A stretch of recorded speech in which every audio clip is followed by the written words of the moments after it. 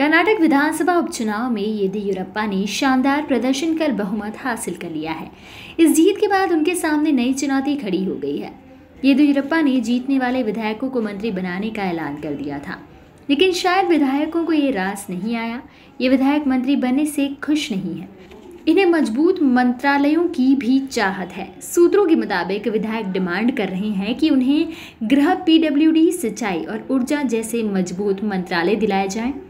बताया जा रहा है कि विधायकों का मानना है कि यदि येदियुरप्पा सरकार उनके दम पर चल रही है, ऐसे में उन्हें मज़बूत मंत्रालय दिए जाने चाहिए। गौरतलब है कि 5 दिसंबर को 15 विधानसभा सीटों पर हुए उपचुनाव में भाजपा ने 12 सीटें जीती हैं। इन सीटों पर जीतने वाले वो नेता हैं जो कांग्रेस, जेडीएस के बागी होकर भाजपा में आए थे। येदियुरप्पा की सरकार बने रहने के लिए सात विधायकों की ज़रूरत थी। लिहाजा इस नतीजे ने येदियुरप्पा के नेतृत्व वाली बीजेपी सरकार को मजबूती दी। गौरतलब है कि राज्य में पहले कांग्रेस जेडीएस की सरकार थी जो चौदह माह चली थी, लेकिन जेडीएस के तीन और कांग्रेस के चौदह विधायकों के इस्तीफे के कारण सरकार गिर गई थी।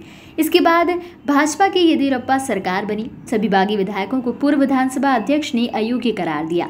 अब पंद्रह सीटों पर उपचुनाव कराए गए हैं, दो सीटों के लिए हाईकोर्ट में मुकदमा चल रहा है। Subscribe our channel and press the bell icon for more updates